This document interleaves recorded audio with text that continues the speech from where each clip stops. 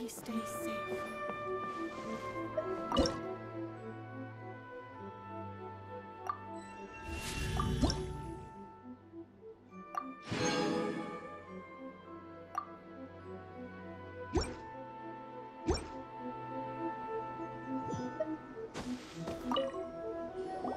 Why, hello. If it isn't the triumphant traveler. And why might you be visiting the shrine? A sign of piety, perhaps? You literally told us to come meet you here! I was just joking. I've been waiting for you. Seems like someone's in a pretty good mood. Mm-hmm. Catching up with an old friend I hadn't seen in years was truly delightful. By the way, I heard that you had a duel before the throne, with a Fatui Harbinger no less. Courageous and astute. I must say, I am most impressed.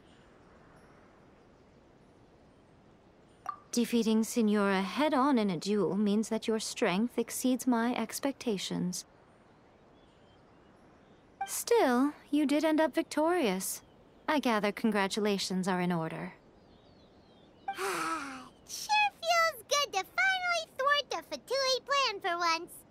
They caused plenty of trouble along the way, but at the very least, they didn't get their hands on another Gnosis.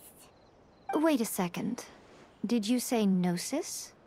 As in, the little thing that looks something like a chess piece? Yep, that's the one. You've seen one too? Gnosis belong to the Seven.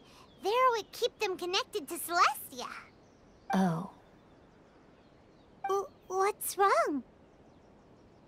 I handed that over.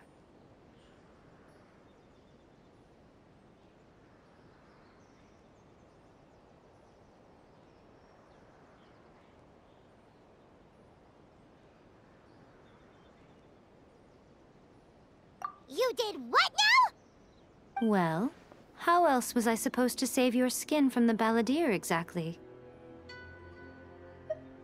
The Balladeer is number six of the Fatui Harbingers. In terms of strength, he is superior to Signora. I'm not the kind of person who risks life and limb for any old reason. It, it,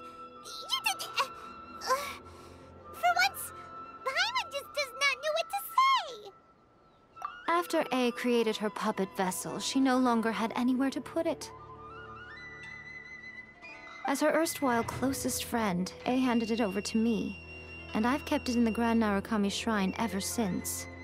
She no longer needs the power of the Gnosis, and in any case, she tells me she has severed ties with Celestia.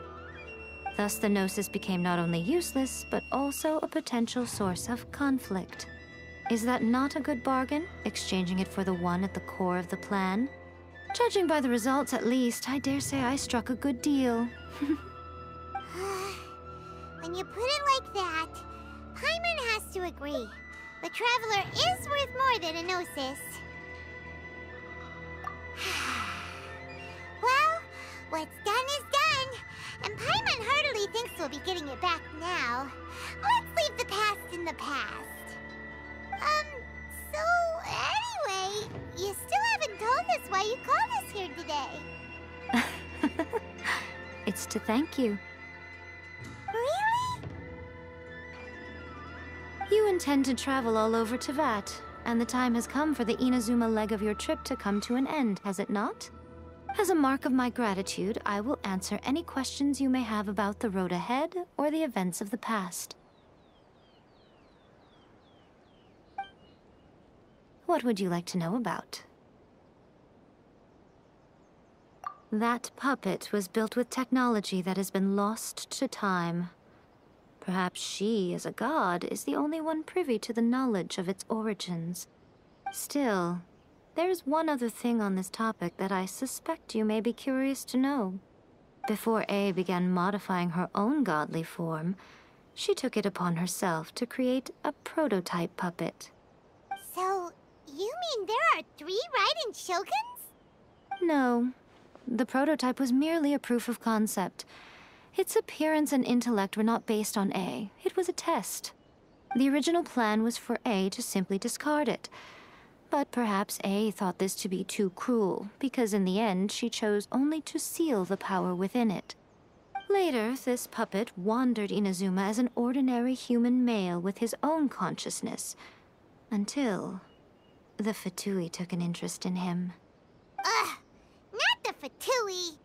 Some eccentric geniuses in the ranks of the Fatui made adjustments to the prototype, not only unsealing his power, but very likely rendering him even more formidable than his original specifications. Mm-hmm. The object of divine creation is now the one who has taken possession of the Gnosis. And the prototype puppet is now known as the Balladeer. What? What a crazy story! It is, isn't it? Who can say whether it's coincidence or destiny? I'm surprised an outlander like you is aware that there was once a change of Electro Archon.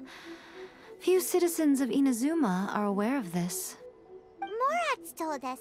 He said that the Electro Archon Baal has passed away. Yes. The truth of the matter is that there were two twin gods, Baal and Beelzebul. Twin gods? They won the Archon War together, and when Baal established the shogunate, Beelzebul became her Kagemusha, or shadow warrior. In other words, she acted as Baal's body double. Beelzebul is Ei, with whom we are now both acquainted. Baal's name was Makoto. As far as the world was aware, there were not two, but one. They complemented each other, and they ruled Inazuma jointly, so there was no need for the public to know the truth. In fact, the name Baal and the title of Raiden Shogun was understood to refer to both of them. Right up until... Until what? Makoto died several hundred years ago in a war that I was not personally involved in. Since then, Ei has assumed the shogunate. Losing her sister must have been super hard on Ei. That was when Ei began to change. Makoto was her greatest loss. Paimon feels like she understands Ei a lot better now after finding that out. So what kind of god was Makoto? I didn't spend a great deal of time with her, but my impression was she was a gentle god, who in each moment cherished the beauty of what was before her. Wow.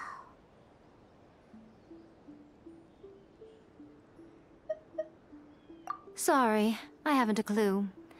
I'm also unfamiliar with the god you describe.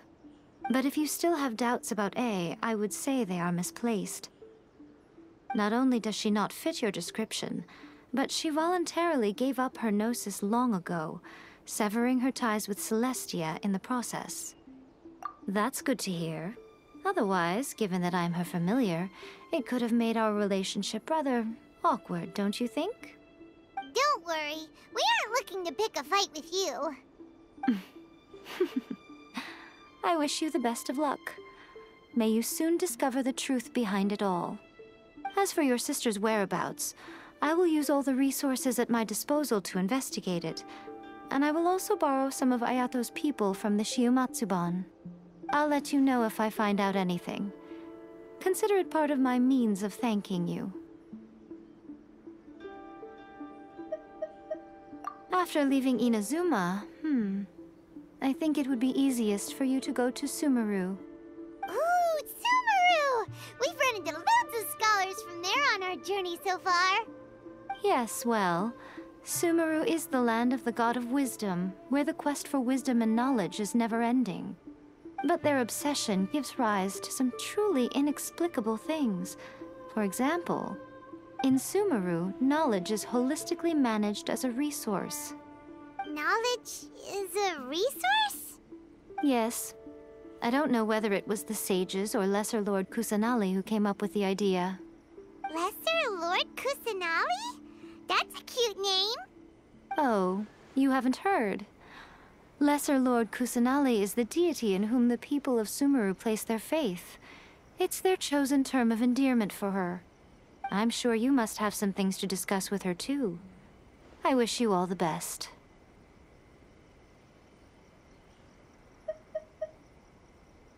After leaving Inazuma, hmm, I think it would be easiest for you to go to. Sumeru!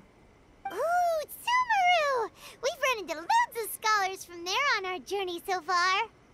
Yes, well, Sumeru is the land of the god of wisdom, where the quest for wisdom and knowledge is never ending. But their obsession gives rise to some truly inexplicable things. For example, in Sumeru, knowledge is holistically managed as a resource. Knowledge is a resource? Yes. I don't know whether it was the sages or Lesser Lord Kusanali who came up with the idea. Lesser Lord Kusanali? That's a cute name. Oh, you haven't heard. Lesser Lord Kusanali is the deity in whom the people of Sumeru place their faith. It's their chosen term of endearment for her. I'm sure you must have some things to discuss with her too. I wish you all the best. Are you sure?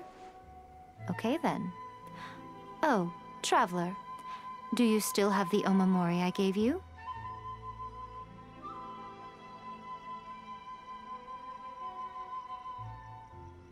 Keep it safe. Is that all you intend to do with it? There was me thinking that you might hang it around your neck to show off to the world, telling everyone who inquired that it was given to you by none other than Yae Miko, the wise and beautiful. Who in their right mind would do that? okay, I'll stop. Now, a question for you. Traveler, what is your ambition? I see. But that is merely a small goal, based on what preoccupies you here and now. Your ambition should be something that transcends the world below and the starry sky above. Something that shines in unison with fate itself. Perhaps the reason you do not possess a vision is that such an ambition has yet to be engendered within you. It's a possibility. Continue on your journey, and maybe that moment will come to pass.